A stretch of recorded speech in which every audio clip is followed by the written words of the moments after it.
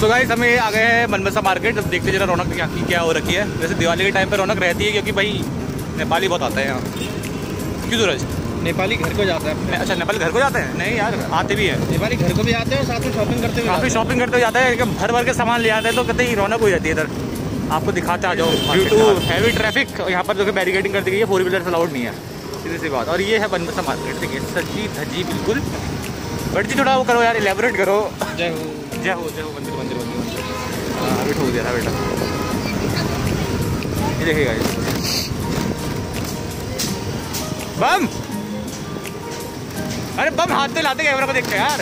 हाँ.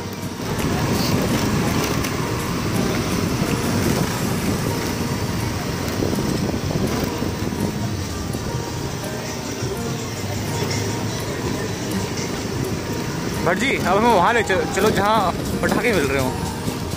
बस बस चल रहे हैं। जब पटाखों के रेट देखें क्या चल रहे हैं। वैसे हम पटाखे लेंगे नहीं लेकिन खा- खाली रेट देखेंगे हाँ। लेंगे मतलब दो चार लेंगे जो वाले होते हैं अनार फुलझड़ी और चरखी वगैरह लेकिन ज़्यादा पॉल्यूशन वाले नहीं। गाइस को झूठ क्यों बता रहा है? गाइस के बरेली से लेके आए उसे मिठाई उठा लेंगे ट्रे से? उठा के उठा के भाग जाए बता मिठाई।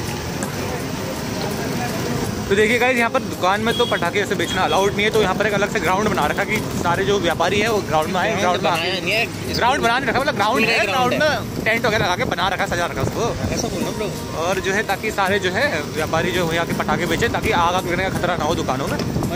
इसलिए जो है और हमारे वो है कि मतलब पानी रखना और रेत रखना वो मतलब कंपलसरी है। तो ये वो दुकान है यहाँ से अंदर जाएँगे हम। दुकान मतलब नहीं गेट है। दुकान नहीं है। और ये देखिएगा इस। ये देखो ये देखो ये देखो ये देखो ये देखो ये देखो ये देखो ये देखो। कहता देखिए गुड़गांव से। यहाँ स्पेशली पटाखे लेना है। ये देखिएगा इस ये देखिए बच्चों को पता हम क्यों आए हैं। ये देखो। तो बच्चे काफ़ी खुश है। हाथ दिला दो कैमरा को देख के। ऐसा हाथ दिला दो। हेलो भाई हेलो भाई हाँ। तो भाई सीन ही हो चुका है। सीन क्या हो चुका है भट्ट जी? बताओ अब सीन क्या हो चुका है। हम गए अभी एक दुकान में। हाँ बताओ तू भी बताओ ना यार अब मैं क्या बताऊँ? हैं। जम के जूते बना रहे हैं?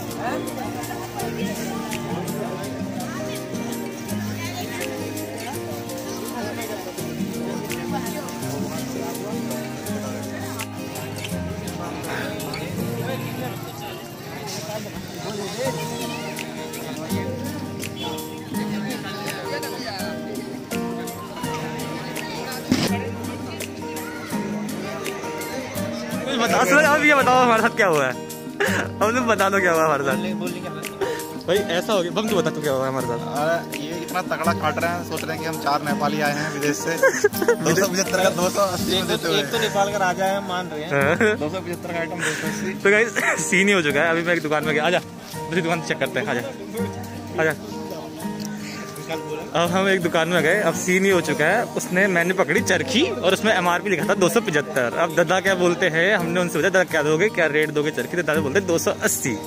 तो हमने कहा, दादा यार, दो सौ पचहत्तर की तो एमआरपी बढ़ी है, दो सौ अस्सी में चरखी कैसे दे दोगे? तो क्या कहने लगे, नहीं यार एमआरपी में थोड़ी ना, वो तो खाली ऐसे लिखे रहते हैं। एमआरपी में थोड़ी ना मिलता सामान, वो तो खाली लिखे रहता है। ये इनका तर्क था। ये देखिएगा ऐसा लूटता है यहाँ पर। क्या करना है फिर वो? रॉकेट लेना वाला? है मैम या कल बनाए सुबह?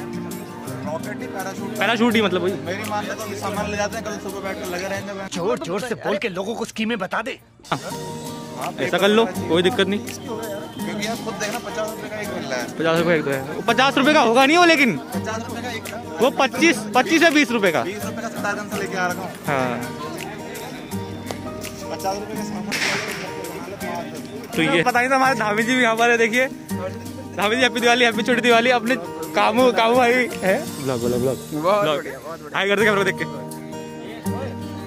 अपने कामू भाई भी यहाँ पर मिल गए हैं। हमने देखा नहीं वो तो बुला लिया। तुमने नहीं बुलाया लेकिन फिर भी। क्या चल रहा है? हैं? ब्लॉगिंग ब्लॉगिंग हाई कर दे कैमरा देख के। धामी जी बताओ फिर। बताओ। है? पटाखे। लेंगे ना? लेंगे यार सही लेकिन वाजिब रेट में लेंगे तब लेंगे यार। सो गाइस अब सीन ये हो चुका है। कि जिस हिसाब से हमने यहाँ रेट देखे हैं क्रैकर्स के तो हम सोच रहे हैं नेक्स्ट ईयर जो है, हम भी अपनी दुकान लगाएँगे बढ़िया करके। पर मस्त मस्त पैसा कमाएँगे। किस सूरज? है कि नहीं? क्योंकि इतने हाई रेट है, इतने हाई रेट है कि क्या बताया जाए आपको? बिल्कुल बता नहीं सकता मैं। एक तो भाई साहब मैंने आपको जैसे बता ही दिया दोस्तों पीछे एम आर पी से पाँच रुपये महँगा बोल दे रहा रेट भैया मैं एक्साइटमेंट में आगे कितना छाप रहे हैं ये फिर बोल रहा है एमआरपी में ले जाओ। फिर कह रहा एम आर पी में ले जाओ कोई बात नहीं एम आर पी दे दो कह रहा। है डेविल दीपू इनके दोस्त ने दुकान लगा रखी है वहाँ आगे कहते हैं कहाँ कहाँ लगाई दुकान? अपना स्टेडियम में जो स्टेडियम मैंने अभी आपको दिखाया था। और दबा के पैसा छाप रहा थी बोले दीपू तुम क्यों नहीं छाप रहे हो वैसा ये बताओ मुझे? ज़रूरत नहीं है मेरे को। ये हुई ना बात यार कहते हैं वो बता कहते हैं कल लेने चलेगा बटा के फिर? मैं नहीं पड़ता है चल ठीक है कोई बात नहीं। नाइस यार गो ग्रीन वी बना दे। वी बना दे। ऐसे। Victory victory